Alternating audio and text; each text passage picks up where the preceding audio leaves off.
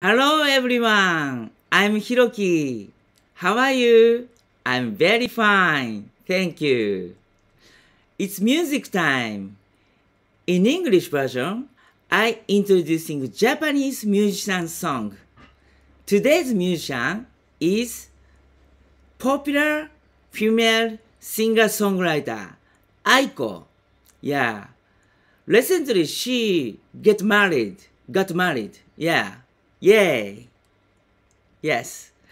Uh, in her album, there is many, many good songs. Today's song's name is Kirakira. Kira Kira means onomatopoeia for brightening, brightening. Yeah.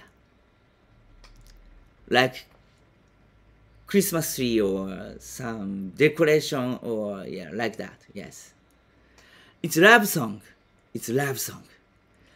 Very, very good love song.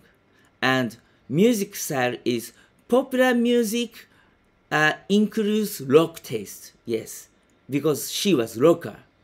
Yes. Punk rocker. Yes. Punkish rocker. Yes. So please find in uh, subscription service.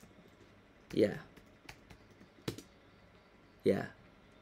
Spare is as wrote as I wrote in title in this contents. Yes.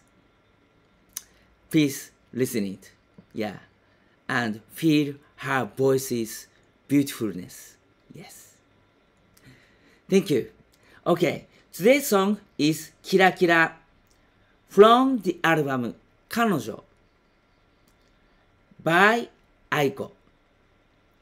Thank you for listening. See you in another content on my channel. Bye. Let's enjoy music.